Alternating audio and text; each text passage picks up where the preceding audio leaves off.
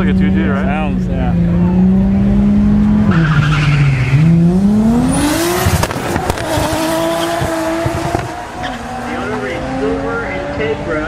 Parked next to a gray Lexus, license plate number 691. E is in element, Q is in quail,